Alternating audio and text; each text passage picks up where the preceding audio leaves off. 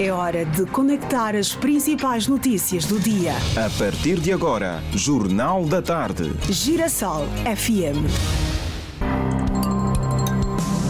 Angola, boa tarde. Começa agora o seu jornal e estas são as principais notícias. Moradores do distrito urbano de Bela Vista, em Luanda, lançam grito de socorro por causa de alegadas ameaças de militares que prometem destruir as suas casas. Ministério da Educação, Ministério da Saúde garante que houve transparência na seleção dos candidatos apurados no concurso público. Angola prepara mais de 500 militares para apoiar a operação de manutenção de paz em áreas dominadas pelo M23 na RDC. Da atualidade internacional, a Agência Internacional de Energia Atômica lança alerta sobre o desaparecimento de mais de duas toneladas de urânio na Líbia. Do desporto, Petro de Luanda joga cartada decisiva este sábado diante do JS Kabylie da Argélia. Jornal da Tarde, edição de sexta-feira, 16 de março de 2023, garante a técnica ao José Chiputo. A edição e a apresentação é de Edna Firmino e Simão João. Estamos a apresentar Jornal da Tarde, aqui na Girassol FM. São 12 horas e 1 minuto. Sua segurança, sua saúde e serviços. Agora, notícias de sociedade. As constantes ameaças de demolição de casas supostamente feitas por militares e polícias está a preocupar os moradores do bairro da Santa Paciência Zango 5, no distrito urbano da Bela Vista, aqui em Luanda. Mais dados com o Paulo Mateus.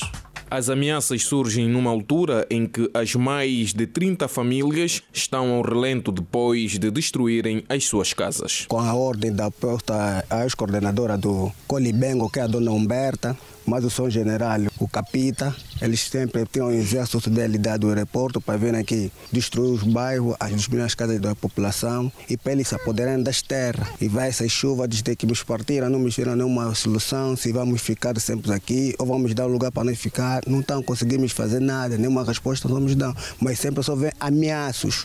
Várias vezes nós eh, já recorremos eh, à administração. Desde 2016, a própria administração está a ver esta situação de demolição. Nós aqui não temos água, não temos energia. Nós não somos invasores. O invasor é aquele que quer nos tirar a terra. Então é preciso dialogar, senhor administrador. Nós queremos conversar contigo, não foge a população. Quando cai chuva, apenas todas as casas daqui mesmo do Rodório, quando cai chuva, as pessoas não conseguem dormir, ficamos todas de pé até amanhecer. Nos ameaçaram que podiam vir e dar barrote, chapa e nunca fizeram isso. Venham com as próprias armas para ameaçar a população. Ontem não consegui sair para ir trabalhar por causa deles. Até a casa de uma jovem deficiente não foi poupada. Neste momento ela tem dois filhos. Os moradores pedem a intervenção urgente das autoridades para a resolução do problema. Olha, sou mãe de dois filhos. A minha casa foi destruída. Não sei se é Estado, se é privado, não sei. Só sei que a minha casa mesmo partiu no mês de abril. Só assustei que um dos militares estão a bater a porta.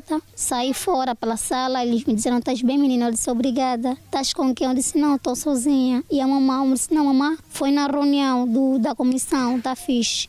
Olha, nós vamos aqui partir as casas, tá bom? Eu não acreditei, eu estava confusa. Como assim? E é assim já que ali um dos militares entrou lá dentro, me empurraram por fora do quintal. Primeira coisa, ajuda que eu vou pedir é uma cadeira de roda. Primeiro, é uma cadeira de roda mesmo, porque eu não estou mesmo conseguindo, só mesmo assim com as feridas que eu tenho. E outra coisa é, pelo menos, pedir apoio de pelo menos mil blocos que na qual o meu terreno está em risco, lá no Maemaé.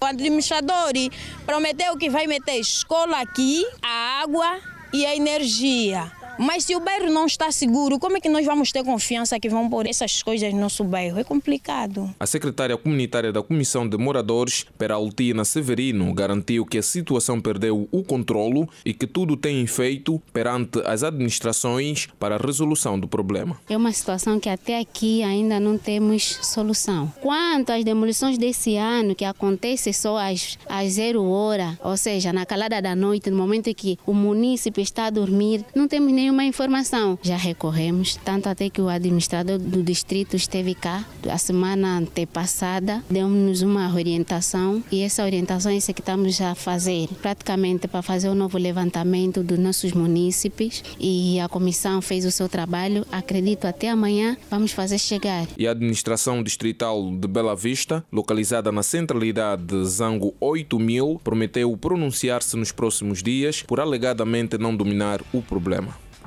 Repórter Paulo Mateus, as constantes ameaças de demolições de casas supostamente feitas por militares e polícias está a preocupar os moradores do bairro Santa Paciência, no Zango 5.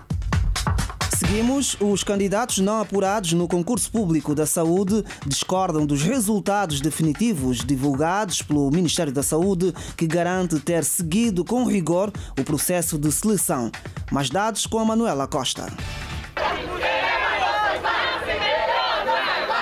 Este é o grito de socorro dos candidatos não admitidos no concurso público de ingresso do Ministério da Saúde. Com cartazes de várias frases, eles saíram às ruas em tom de descontentamento pelos resultados divulgados. Desde a véspera da inscrição, passamos por N dificuldade e fomos fazendo prova com dificuldade que até em algumas escolas houve falta de enunciados, que muitos foram obrigados a fazerem numa segunda chamada, que a partir daí começamos a notar uma anomalia nesse concurso. De 10 valores estão a entrar. Eu quando recebi ontem a notícia que eu tive 13.6, sinceramente eu chorei muito. Revoltados, os candidatos não apurados recusam um novo concurso e pedem uma reavaliação das notas para admissão. Não queremos novo concurso público, não aceitaremos, não nos curvaremos, não estamos preparados a nos redimir contra a justiça.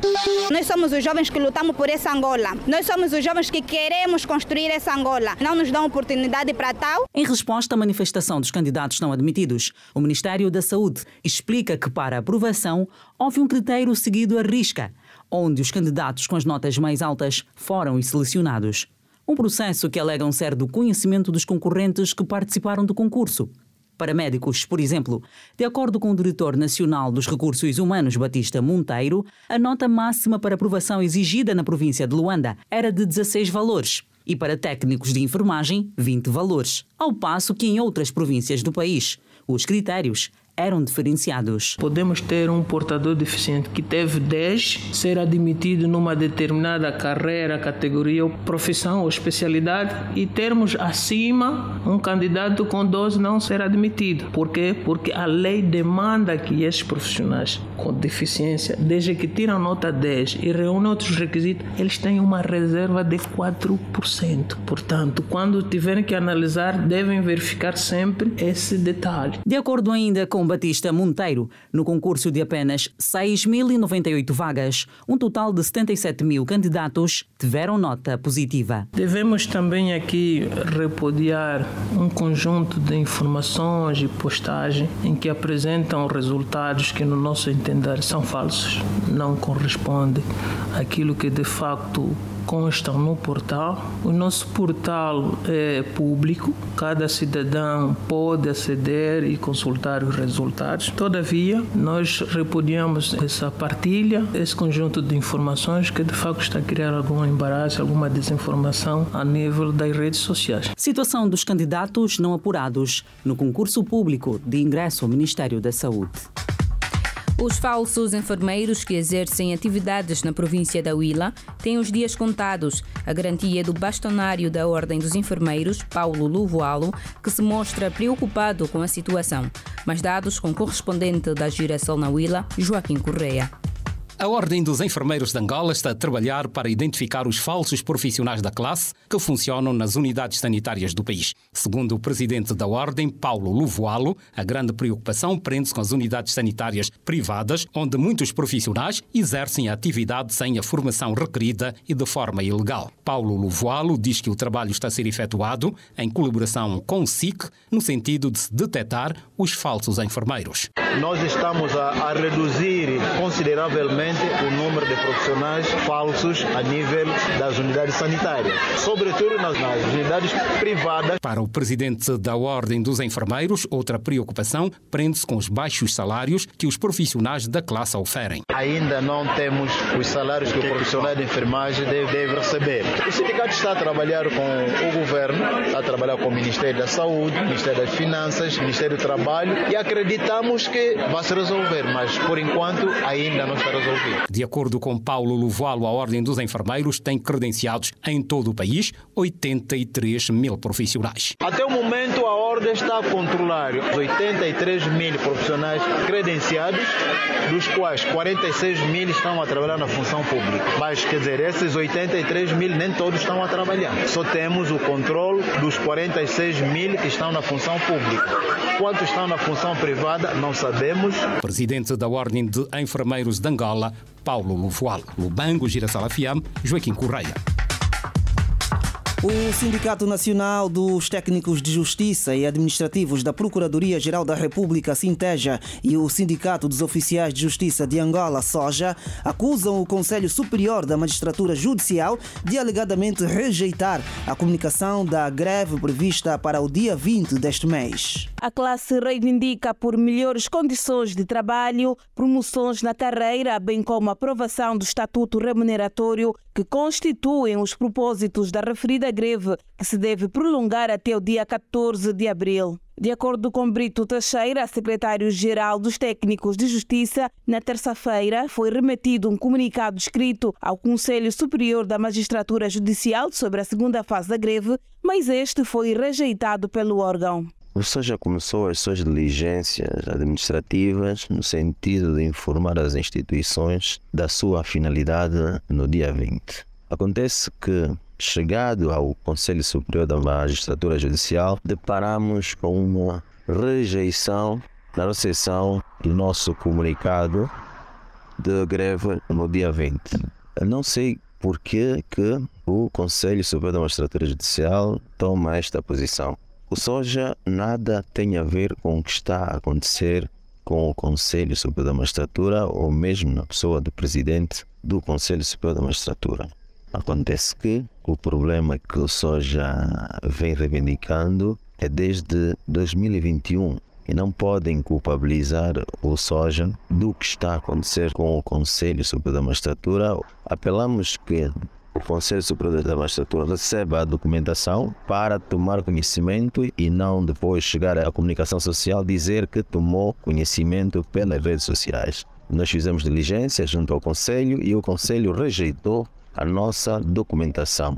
Já fizemos chegar às outras entidades e aguardamos que o Conselho receba a nossa documentação. Aqui, Brito Teixeira, secretário-geral de Soja, recorde-se que em novembro de 2022, os oficiais de Justiça de Angola e técnicos e administrativos da PGR paralisaram os serviços numa primeira fase da greve, que foi levantada com a promessa do retorno de 60 dias.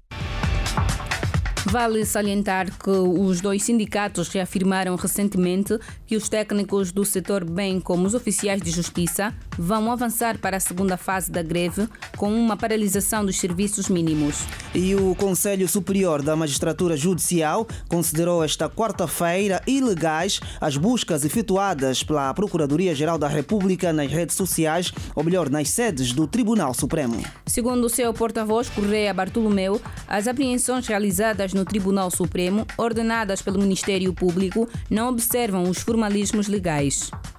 E no âmbito das competências do Ministério Público, estabelece que se algum magistrado, seja do Ministério Público ou judicial, praticar um ato suscetível de responsabilidade disciplinar ou criminal ou receba um ato de notícia, deve informar previamente o Conselho ou do Ministério Público ou da Magistratura Judicial, conforme o caso, tratando-se de juiz ou procurador, para o efeito de desencadear esse procedimento, seja disciplinar, seja criminal. Ora, ao não se observar este formalismo, o Ministério Público, ao atuar nos termos que o fez, pareceu-nos aqui que extrapolou o âmbito das suas competências, por um lado, mas também violou flagrantemente a lei que eles próprios dominam neste sentido. Daí a preocupação do Conselho de apreciar o formalismo e, no final, sairá uma resolução. Ouvíamos o porta-voz do Conselho Superior da Magistratura Judicial, Correia Bartolomeu. Importa ainda referir que a PGR deu início nos dias 10 e 13 deste mês a diligências de buscas e apreensões nas sedes do Tribunal Supremo e do Conselho Superior da Magistratura Judicial. Os principais problemas que afetam a vida social das mulheres em Cabinda foram analisados em jornada científica. A iniciativa é do Instituto Superior de Ciências de Educação, que pretende incentivar as mulheres a praticarem ou a participarem de forma ativa no desenvolvimento da província. Mais dados com o correspondente João Chico em Cabinda. O objetivo da jornada prende-se com um processo que estimula a mulher a participar no desenvolvimento da província. As participantes louvam a iniciativa do ICET Cabinda e prometem colocar em prática todos os conhecimentos adquiridos. A situação da mulher hoje a nível da província, de acordo com aquilo que eu tenho constatado, se formos a ver no meu ponto de vista, hoje as mulheres não têm um empenho profissional de uma forma dedicada. A mulher tem de conhecer, tem de saber ser, saber estar e saber fazer. Ter mulher, primeiramente, é algo maravilhoso. Todos bem sabemos disso. Uma das coisas que eu prestei mais atenção é sobre a mulher no setor profissional é que devemos ser mais práticas, devemos ser mais cultas, devemos ser mais civilizadas. A palestrante Susana Abreu disse que a mulher deve desempenhar o seu verdadeiro papel na sociedade porque ela carrega várias competências e habilidades. A mulher decide trabalhar fora de casa, saindo da sua zona tradicional e ela parte para desempenhar outros papéis fora da casa. E é esta situação que traz então esta problemática toda da discriminação das mulheres no mundo profissional, os desafios, as, das oportunidades, porque para os homens isto não se coloca. Albertina Simão, coordenadora coordenadora das jornadas científicas, acredita que depois deste encontro muitas mulheres terão uma outra capacidade de interpretar a sociedade. O principal objetivo é trazer vozes femininas no intuito de mobilizar outras mulheres para a questão da profissionalização. Nós sentimos ainda, embora tenhamos avançado e temos dado um bom passo, sentimos ainda que existem algumas mulheres com algum tabu e a nossa forma mais próxima de conseguirmos isso é trazer depoimentos de mulheres. O presidente do ICHET Cabinda, Domingos Ndel, fez saber que as mulheres ao nível da província reúnem muitas qualidades. O que tem faltado é um direcionamento profissional. As mulheres que nós temos têm informação diferenciada e têm revelado conhecimento e competências científicas nas atividades em que são chamadas. Ouvíamos o presidente do ICET Cabinda, Domingos Ndel, que promove jornada científica para incentivar as mulheres a participarem no desenvolvimento da província. Mulheres de diversas áreas da sociedade estão a participar de um workshop subordinado ao tema O papel das mulheres e as tecnologias de informação em Angola. O evento é promovido pelo Grupo de Mulheres Parlamentares e acontece neste momento na Casa das Leis. Na ocasião, o primeiro vice-presidente da Assembleia Nacional, Américo Kononoka, realçou a importância do empoderamento das mulheres no mundo das novas tecnologias. O setor das tecnologias é estratégico para uma recuperação transformadora, porque contribui para fortalecer a liderança e o empoderamento social e econômico das mulheres e raparigas, tornando-as resilientes aos resquícios do patriarcado. A globalização trouxe novos desafios, novas lutas, cuja discussão é premente, sob a pena de produzir novas formas de subjugação da mulher numa dimensão crucial da, da evolução digital. É sobre a inovação e mudanças tecnológicas e a educação na era digital para alcançar a igualdade de gênero e o empoderamento das mulheres e raparigas que a modernidade nos convoca a unir cada vez mais à nova humanidade partilhada. Primeiro vice-presidente da Assembleia Nacional, Américo Kunonoka, no workshop estão em destaque temas como a igualdade de género, conquistas e perspectivas das mulheres na tecnologia. Sobre este assunto, teremos mais desenvolvimento no Girassol Jornal com a Celestina Zola, que acompanha o evento. A segurança social é entendida como uma proteção social obrigatória e é uma realidade assumida coletivamente pelo Estado e o empregador. Alguns cidadãos conhecem bem os benefícios da segurança social, dos descontos que sofrem e como esses descontos são feitos. Definindo taxativamente, não, mas tem benefícios para a prova de vida e é uma garantia futura. Esse desconto é feito mensalmente é, por meio de uma dedução no salário. Já fui lá uma vez para poder consultar se os descontos que eu tenho sofrido encosta lá. De facto tem, encosta. Encosta. A minha empresa tem feito essas transferências para lá. À medida do tempo que trabalhou a empresa e a segurança social vai lhe remunerar durante o tempo que ele estiver em casa. E há quem foi descontado todos os meses, mas não viu o dinheiro refletido na sua conta do Instituto Nacional de Segurança Social, como é o caso de Adilson dos Santos. Passei algumas empresas é, que simulavam, né? Isso eu falo de forma particular, que eu estava inscrito, mas infelizmente não estava. Quando troquei de empresa para uma outra, fui saber se eu estou inscrito, quanto talvez tinha acumulado e tudo mais. Eh, deparei-me com uma situação constrangedora. Por quê? Porque quando lá estive, tive a informação que nunca fui inscrito. Nas situações em que o empregador faz os descontos e não efetua o pagamento à segurança social, o diretor do gabinete jurídico contencioso do INSS, Wilson Santos, explica as sanções que se aplicam a estas empresas nós devemos apelar às pessoas a terem aqui cultura de fazerem denúncia, porque na verdade é com estas informações que também o Estado trabalha, é com estas informações também que o Instituto Nacional de Segurança Social trabalha. A Segurança Social tem sido atuante, porque tem uma equipa de inspeção não é? inspectores que se dedicam exclusivamente a verificar e averiguar estas situações. Desde que se constata que há, de facto, aqui uma situação de invasão contributiva, a lei permite que primeiro apliquem-se, podem-se aplicar multas de salientar que, de acordo com o Ministério da Administração Pública, Trabalho e Segurança Social, mais de 3 mil empresas angolanas, entre grandes e pequenos contribuintes, estão em falta com o pagamento obrigatório da segurança social. No âmbito de melhoria e manutenção das vias secundárias e terciárias da capital do país, o Largo das Heroínas está interdita nos dois sentidos, ascendente e descendente, a partir de hoje até amanhã. E esta, esta situação tem causado alguns constrangimentos por quem por lá passa. Bernardo Colli, não tomei conhecimento, vinha deixar a escola, encontrei de repente a via interditada, penso que deveriam comunicar, não consegui deixar a da porta da escola datas violentas, bandidos, não me garante segurança. Tinha que esperar né, na estrada, ver se ela entrou para a escola ou não. Suzana Antônio, eu vou no prenda. Não, não sabia. Então, tenho que voltar e para apanhar outro táxi. Eu, geralmente tem pegado aqui no Alvalade, porque essa via nos facilita e direito Está interdita desde hoje o Largo das Heroínas nos dois sentidos, ascendentes e descendentes, e vai terminar amanhã.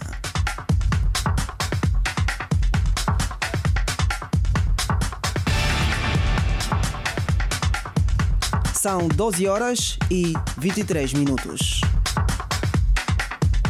Mais de 20 milhões de kwanzas é o valor global que será distribuído às sete categorias que compõem o Prêmio Catoca de Jornalismo.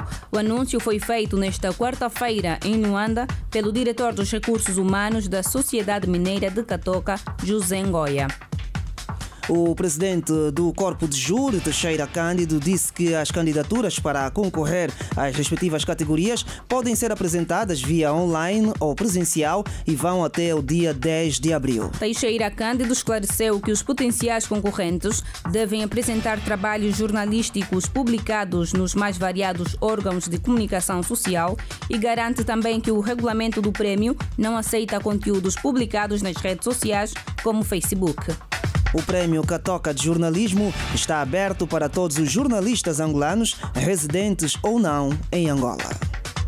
E seguimos a Bolsa de Dívida e Valores de Angola realizou nesta quarta-feira em Luanda a quarta edição do Fórum Bodiva, subordinado ao tema Mercado em Crescimento. Durante o fórum, a educadora financeira Nelza Pinto disse que qualquer pessoa pode investir na bolsa, para tal, o conhecimento é fundamental. Nós estamos a falar de Cabo Verde, por exemplo, que se cria uma inovação porque não tem os benefícios que nós temos em termos de recursos naturais, em termos de petróleos e tudo mais, e acaba por trazer aqui uma forma muito estratégica de pensar mercado. Portanto, acredito que nós vamos todos aprender muito, que vamos poder interagir e abrir aqui para mais conhecimento, mais parcerias e entender que o, hoje o cliente individual, o particular, também já cria bastante movimento neste mercado, que não são só as empresas, as grandes empresas ou a o presidente do Conselho Executivo da Budiva explica como o cidadão pode investir na Bolsa de Valores. Fácil de tentar entender o que é uma bolsa é imaginar como se a bolsa fosse um supermercado ou uma praça. O que é um supermercado? O supermercado é um sítio onde certas marcas vão e colocam seus produtos à venda e onde certas pessoas vão e adquirem esses produtos. Portanto, a bolsa é efetivamente, na essência, um supermercado mas a única diferença é que nós não compramos e vendemos bolachas ou pão, nós compramos e vendemos ações, obrigações e instrumentos financeiros. Já Miguel Monteiro, presidente do Conselho de Administração da Bolsa de Cabo Verde, fala da importância de os jornalistas divulgarem mais os assuntos sobre literacia financeira. Está a desenvolver-se se os jornalistas não cumprirem com o seu papel. Naturalmente que esta questão da literacia financeira, ou seja, esta capacidade de os angolanos poderem perceber as diferenças entre ações, obrigações, em saber que oportunidades de investimento na realidade têm, este é um papel que claramente temos de ter a parceria dos jornalistas, neste caso aqui em Angola. E por isso nós ficamos felizes também que esta ideia da Bodiva em incentivar os jornalistas nesta matéria é um exemplo de que todos saímos a ganhar quando nos unimos em prol um mercado de capitais em Cabo Verde, Angola e Moçambique. Cabo Verde e Moçambique, dois países dos Palopes que estão no mercado de capitais há aproximadamente 25 anos, reforçam a educação financeira como um meio de desenvolver o setor. Agora, política de Angola e do mundo. Angola vai enviar por um período de 12 meses entre 450 e 500 homens para a República Democrática do Congo, no sentido de assegurar as zonas de acantonamento das forças do M23. Segundo o ministro de Estado e chefe da Casa Militar do Presidente da República, Francisco Furtado, o contingente das Forças Armadas angolanas é composto por um batalhão e a respectiva componente técnica, militar e logística. Francisco Furtado falava durante a discussão discussão na especialidade do relatório parecer conjunto na especialidade e o projeto de resolução, ambos aprovados quarta-feira pela Assembleia Nacional. O Serviço de Migração Estrangeiros retomou a normalidade na emissão de passaportes por ter sido já ultrapassada a ruptura de estoque de cédulas do documento oficial. A garantia foi dada pelo diretor adjunto do SME, comissário Tomé João, no final da cerimônia de abertura do ano de instrução e educação patriótica. Chegou a hora dos destaques do desporto. 12 horas e 28 minutos. Atualidade esportiva, o Petro de Luanda já está a caminho da Argélia para o confronto diante do JS Kabili. No último treino em Luanda, Alexandre Santos deu um voto de confiança a Hugo Marques, considerado pelo treinador o melhor guarda-redes a atuar em Angola. Angola sobe no ranking mundial em Jiu-Jitsu. Nápoles faz história na Champions League. Essas e outras notas da atualidade do Esportiva vai poder acompanhar daqui a pouco no Grande Jogada.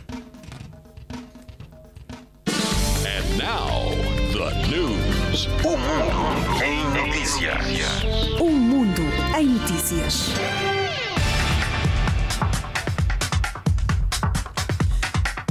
10 tambores com 2 toneladas e meia de urânio desaparecem na Líbia. Um alerta de segurança uh, foi dado, disparado melhor, pela Agência Internacional de Energia Atômica depois de descobrir o desaparecimento de 10 tambores com 2,5 toneladas de urânio natural declarados como armazenados em local na Líbia. Diante do cenário, a AIEA, chefiada por Rafael Mariano Grossi, vão investigar as circunstâncias do sumiço e descobrir a atual localização desses tambores. Rafael Mariano Grossi disse ainda que a agência avalia a situação como um risco radiológico que gera preocupações sobre segurança nuclear. E o Senado francês, com maioria de direita, aprovou nesta quinta-feira um texto de compromisso sobre a reforma das pensões em França, que ratifica o aumento da idade da reforma de 62 para 64 anos. O texto foi aprovado por 193 votos contra 114 no final de uma sessão de 75 minutos, segundo a agência francesa AFP. A reforma das pensões proposta pelo presidente Emmanuel Macron tem sido contestada por greves e manifestações por toda a França.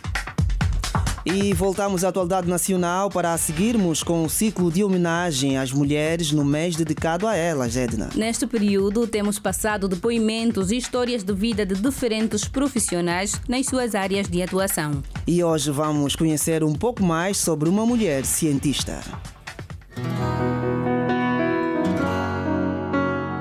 Teresa Matoso Manguangua Vitor, sou cientista em engenharia química, sou ao mesmo tempo mãe de quatro filhos e uma neta. Não tem sido fácil, é um grande desafio para mim. Como mãe, como mulher, é um grande desafio estar na ciência, principalmente estar numa área onde é meramente dominado pelos homens, engenharia química. Então, tem sido mesmo um grande desafio, mas eu tenho aquela fé que as coisas vão mudar, porque é caminhando que se faz ciência, é caminhando que as coisas mudam.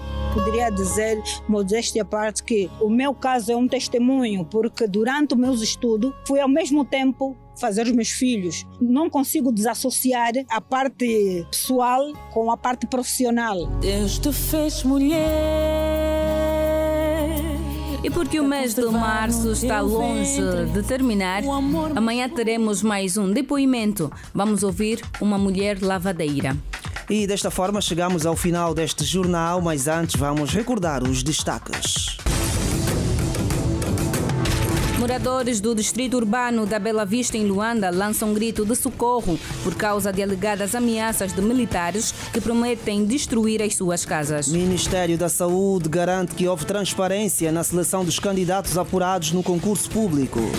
Angola prepara mais de 500 militares para apoiar a operação de manutenção de paz em áreas dominadas pelo M23 na República Democrática do Congo. Pelo mundo, destacamos que a Agência Internacional de Energia Atômica lança alerta sobre o desaparecimento de mais de duas toneladas de urânio na Líbia. Do desporto, Petro de Luanda joga cartada decisiva este sábado diante do JS Kabylie da Argélia. Jornal da Tarde, edição de sexta-feira, 16 de março de 2023. Teve a garantia técnica de José Chiputo. A edição e apresentação foi de Edna Firmino e Simão João. A todos, boa tarde. A Girassol FM apresentou Jornal da Tarde.